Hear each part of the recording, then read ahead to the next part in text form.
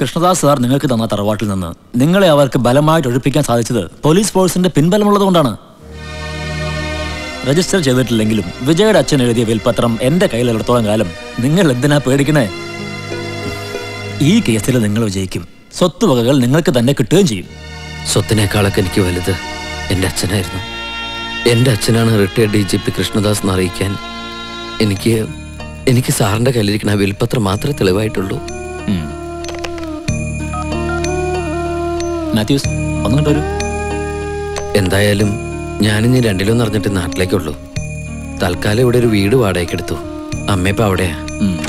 Sir ആ മാത്യു വർഗീസ് എന്റെ ജൂനിയറാ. മിടുക്കണ ഈ കേസ് മാത്യു അറ്റൻഡ് ചെയ്തോളൂ. ഞാൻ ചിലപ്പോൾ ഓട്ടോ സ്റ്റേഷൻ ആയിരിക്കും. അതുകൊണ്ടാ. അല്ല അത് സാർ. പേടിക്കണ്ടടോ.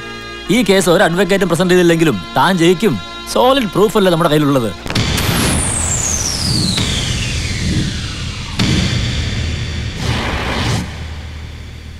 ദൈവസാക്ഷിയായി കോടതി മുമ്പാകെ ഞാൻ സത്യം മാത്രമേ ബോധിപ്പിക്കൂ.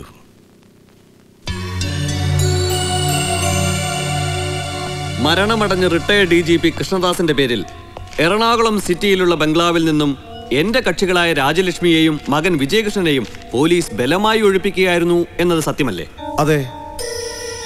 എന്തിനാണ് അവരെ ബലമായിട്ട് ഒഴിപ്പിച്ചത്? പൂട്ടിക്കിടന്ന ആ തറവാട്ടിൽ അനധികൃതമായി കയറി താമസിച്ചതുകൊണ്ട്. അനധികൃതമായിട്ടാണ് അവർ താമസിച്ചതെന്ന് നിങ്ങൾക്ക് എങ്ങനെ അറിയാം? ആ ബിൽഡിങ്ങിന്റെ ഉടമസ്ഥൻ കൃഷ്ണദാസ് എന്റെ സഹോദരിയുടെ ഭർത്താവാണ്.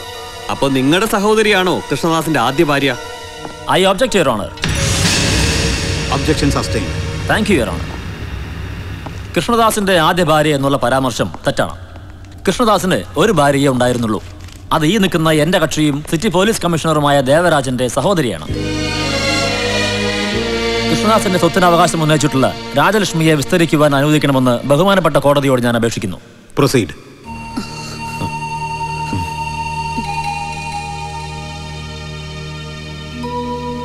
retired D G P കൃഷ്ണദാസിന്റെ സ്വത്തിനു വേണ്ടി അവകാശം ഉന്നയിച്ചിട്ടുള്ള നിങ്ങൾ കൃഷ്ണദാസിന്റെ ഭാര്യയാണോ? അതെ. നിങ്ങൾ തമ്മിലുള്ള വിവാഹം എവിടെ വെച്ചാണ് നടന്നത്? ഏതെങ്കിലും അമ്പലത്തിൽ വെച്ചാണോ? അല്ല. ഏതെങ്കിലും ഓഡിറ്റോറിയത്തിൽ? അല്ല. രജിസ്റ്റർ മാരേജ് ആയിരുന്നോ?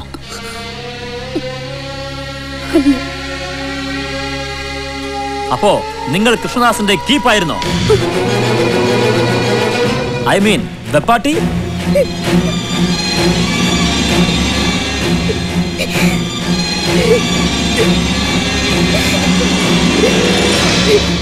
I object your honour objection overruled thank you your honour ഞാൻ ചോദിച്ചതിന് മറുപടി പറഞ്ഞില്ല.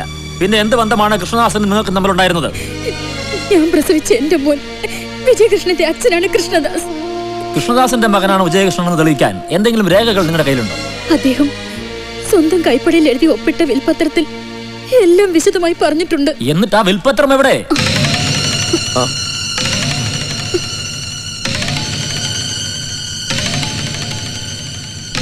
സാറല്ലേ ആ വിൽപത്രം തയ്യാറാക്കിയത്? എല്ലാം സാറിനറിയാലോ. ഗുഡ് ആൻസർ കുറ്റം ഡിഫൻസ് ലോയർക്ക് ആ വിൽപത്രം അല്ലാതെ മറ്റൊരു തെളിവും എന്റെ കയ്യിലില്ല.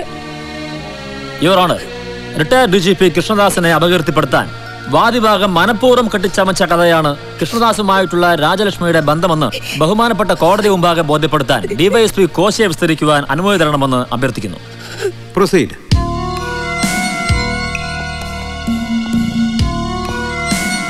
ഈ കേസിലെ വാദി ഈ നിൽക്കുന്ന രാജലക്ഷ്മിയെ നിങ്ങൾക്കറിയാമോ? അറിയാം. എങ്ങനെ അറിയാം? വർഷങ്ങൾക്ക് മുമ്പ് കോഴിക്കോട് ലോഡ്ജ് റെയ്ഡ് ചെയ്തപ്പോൾ പിടിക്കപ്പെട്ട സ്ത്രീകളുടെ കൂട്ടത്തിൽ ഇവരും ഉണ്ടായിരുന്നു.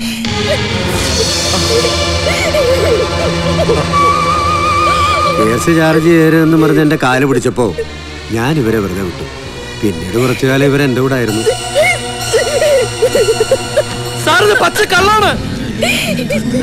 സൈലൻസ് സൈലൻസ് പിന്നീട് മറ്റു പലരുമായിട്ട് ഇവർക്ക് ഇടപാടുണ്ടെന്ന് മനസ്സിലാക്കിയ ഞാൻ. തന്ത്രപൂർവം ഇവരെ കൈയൊഴിഞ്ഞു. അട്ടയെ പിടിച്ച് മെത്തെ കിടത്തിയ കിടക്കുവോ വക്കീലേ?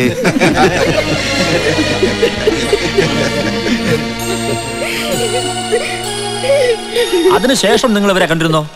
ഒരു കൈക്കുഞ്ഞുമായിട്ട് ഇവർ എന്റെ വീട്ടിൽ വന്നു.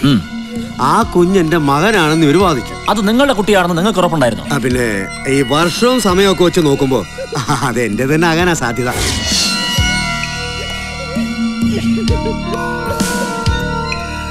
വിജേഷൻ എന്ന ആ കുഞ്ഞിന് പേരിട്ടത് ഞാനാ. എന്നിട്ട്? മാനവും മര്യാദയായിട്ട് ജീവിക്കുന്ന ഒരു കുടുംബം എന്റെത് വിവരങ്ങൾ പുറത്തറിയിക്കാതിരിക്കാൻ എല്ലാ മാസവും ഒരു തുക ചെലവിനായി കൊടുക്കാറുണ്ട്. ഇവരാണ് ഇതുപോലെ പലരിൽ നിന്നും ഈ രാജലക്ഷ്മി പണം തട്ടിയെടുത്തതായി തെളിവുകളുണ്ട്. മാനക്കേട് കരുതി പലരും അത് പുറത്തു പറയുന്നില്ലെന്ന് മാത്രം. റിട്ടയർഡ് പി കൃഷ്ണദാസിന് സംഭവിച്ചതും അത് തന്നെയാണ്. ഇത്തരത്തിൽ കൃഷ്ണദാസിനെയും രാജലക്ഷ്മി പല തവണ ഭീഷണിപ്പെടുത്തിയിട്ടുണ്ട്. ഒരുപക്ഷെ ഈ മാനസിക പീഡനത്തിൽപ്പെട്ടാകാം. അദ്ദേഹത്തിന് ഹൃദയാഘാതം സംഭവിച്ചതും മരണപ്പെട്ടതും എന്ന് കൂടി സംശയിക്കേണ്ടിയിരിക്കുന്നു.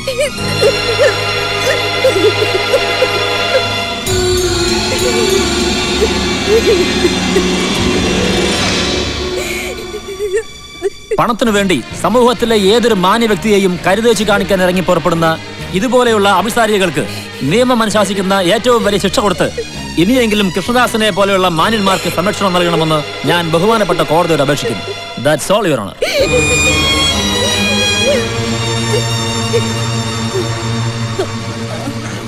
അമ്മേ!